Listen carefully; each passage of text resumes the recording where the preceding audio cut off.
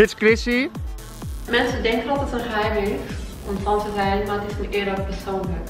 Hoe vond je het om in de GSA-video te zitten? Ja, heel knus. Heel Alles voor de GSA.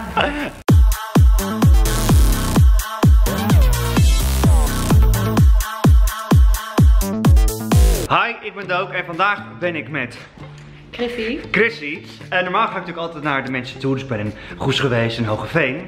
Alleen is dat bij jou even wat eh ander verhaal. Dus we zijn in Amsterdam en eh, we hebben ook nog een special guest. Want het is namelijk Alice Olstorn. glitter op mijn poes. Ik ben dus transgender. Dat is clownerij, schat. Dat is clownerij, schat. Ik ben best wel nerveus. Voor wat? Eigenlijk heel erg nerveus. Gewoon Alice Olsson komt zo en je wordt geïnterviewd. Ik, ik, ik, Je kan niet aan! Ik kan het niet meer aan. Ik kan het niet meer aan. Ga even liggen. Ga maar even liggen. ik vind het ook heel leuk dat eh, Alice komt. En eh, we dachten nou misschien is het wel leuk als ehm Chrissy dan eh, een eh, rolmodel ontmoet. Oeh, dan heb ik er eigenlijk één. Ja, want je had verteld eigenlijk in je brief dat je eigenlijk je eigen rolmodel bent. Ja. Ja, ik heb geen. Ik ben eigenlijk opgegroeid zeg maar, om mijn eigen rolmodel te zijn. En dat is best moeilijk geweest. Maar nu ga ik mijn rolmodel ontmoeten. Dus.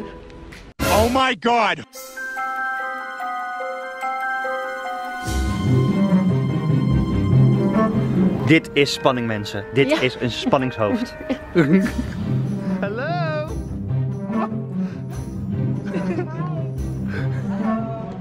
It's Chrissy.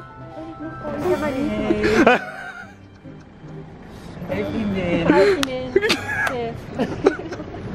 Je bent mooi. Ah, dankjewel. Je ziet er ook prachtig uit. Nee. Eigenlijk de eerste vraag die ik altijd stel. Hoe identificeren jullie je en waar vallen jullie op? Ehm, ik ben trans. Ik ben een transvrouw. Ik ben vroeger als jongen geboren en nu ben ik een vrouw. Qua seksualiteit, ik identificeer me niet echt met een seksualiteit. Ik val gewoon op de persoon en ik denk dat dat eigenlijk veel belangrijker is. Oké, werk. Uh, nee, maar ik heb echt precies hetzelfde. Oh my god! Nee, dat Ja? echt. Ja, nee, ik ben ook transvrouw. En ook eh, met, met seksualiteit. Ik word eerst verliefd, dan zie ik daar dan wel of het jongen of meisje is, weet je wel. Ik vond altijd meisjes zingen van leuker. Ehm, maar ik wist niet echt dat er zoiets was als je geslacht veranderen. Nee, dat had ik ook hoor. Dat je, zeg maar, je voelt het eigenlijk al van een heel erg jonge leeftijd aan. Dat je gewoon anders bent dan alle andere jongetjes. Ik bedoel, je wilt niet met de auto spelen, je wilt met de Barbies, weet je wel. Je wilt eh, de plastic hakken van je vriendinnen aantrekken. En, de, en daar is, maar dan, eh, eh, zeg maar, op mijn zes, voor mij was het op mijn zestiende dat ik pas achterkwam wat transgender was. Ik voelde heel erg die druk van, kut. Maar hoeveel mag ik schelden? Ik bliep het allemaal en je mag doen, doe zoals je bent. Nou, het is zo. ik, voelde me, ik was heel erg bang, want eh, als je zeg maar al een gedeelte van de jongensbed hebt meegemaakt, niet van kut, ga ik nou ooit nog wel een mooie vrouw worden? Dat is echt het eerste wat je denkt. En met mijn eerste stap ik gewoon naar het vuur toe gaan en ik wist al heel erg van tevoren dat ik ook een gezichtsoperatie wou en ik had echt een wacht, wachtlijstje. Een gezichtsoperatie. Ja. Wat is dat? Dat, dat, dat snap ik niet. Wat gebeurt er dan? Nou ja, je hebt zeg maar eh, FFS, zo noemen ze dat, dat is Facial Feminization Surgery. De bedoeling is echt puur om ehm, dingen weg te halen die in je jongenspuberteit Ja. naar voren zijn gekomen. Ik wist gewoon, dat heb ik nodig om gelukkig te worden in mijn gezicht. Voor mij was die operatie ook nog belangrijker dan mijn geslachtsoperatie. Ik heb zelf nog nooit een operatie gedaan. Ik of- Ja, ik, ehm, ik sta nu op de wachtlijst voor mijn um, genitale operatie.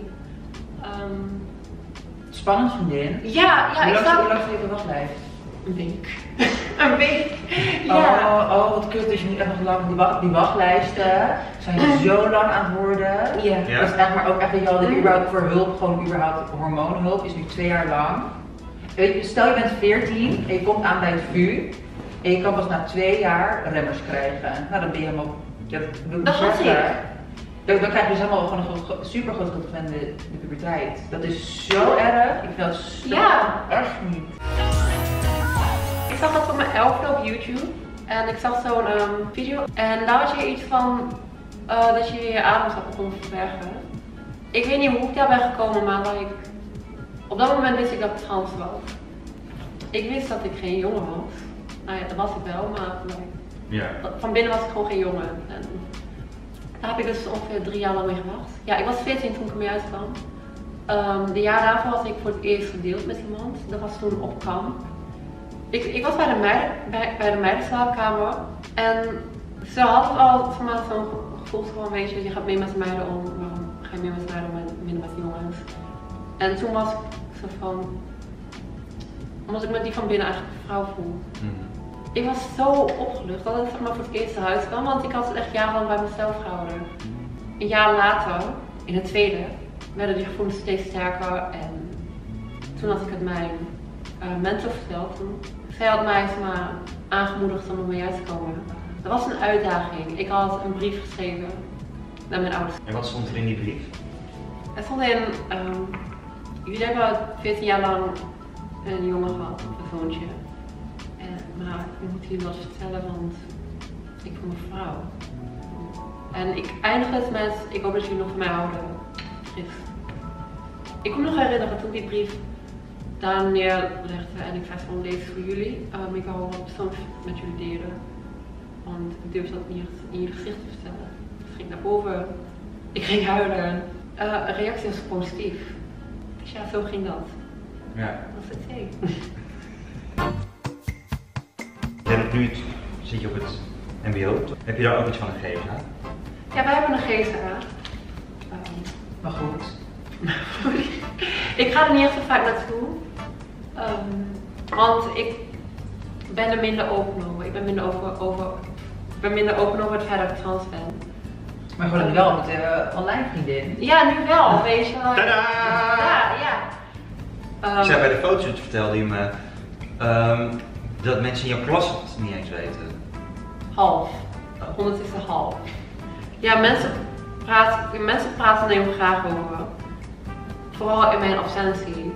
En ehm, dat is gewoon omdat mensen maar, het heel interessant vinden, maar eigenlijk geen vragen durven, over durven te stellen bij mij. Ik weet niet of het aan mij ligt, maar...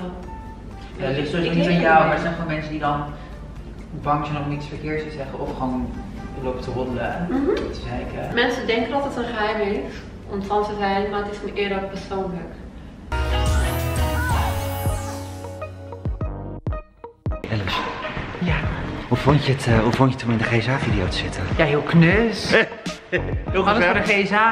Dat is echt hoor. Heb je veel, zelf veel aan de GSA gehad? Ik heb de GSA mijn school opgericht. Ja, samen met een docent. Ik was als eerste uit als flikker op school. Mag ik dat zeggen hier? Ja, ik zeg het. Ja, nee. Maar ik ben. Ja, whatever. Whatever. Het is een liefdevolle term. Ehm, en toen, ehm, echt in de eerste, ik was echt 13. En toen in de tweede heb ik een GSA afgericht. En ik dacht, er zitten sowieso meer flikkertjes hier op school. ja, dat was echt. En toen, eh, een paar jaar later, toen was iedereen uit de kast. En toen kwam ik uit de kast als tranny. En toen ging ik weer verder. Ja, je moet door. Wanneer iemand mij uitstond voor tranny, dan word ik echt boos. Dan Ja? word ik echt boos, ja. Ja, ik heb, ik heb het eh, idee dat als je gewoon zelf er een grap van maakt, dan kunnen mensen je daar ook niet mee beledigen. Maar Ja. dat, dat is persoonlijk hoor. Ik snap ook als je het gewoon een heel kut woord vindt. Dat was erg alleen. Ja. hoe vond je het? Spannend. Ik vond het echt heel spannend. Ehm, het, het is gewoon fantastisch om zeg maar, iemand te ontmoeten die zeg maar, heel erg, waar je echt heel erg aan kan relateren. Weet je? Het is prachtig. Ehm, mannen ken ik eigenlijk niet in mijn omgeving. En dat is heel mooi en inspirerend vind ik. Wil je nou de andere videoportretten zien van de scholieren die ook op de poster staan van Paarse Vrijdag? Kijk dan in de beschrijving of klik hier. Ehm, en ga voor meer informatie naar www.paarsevrijdag.nl Doen! Doen!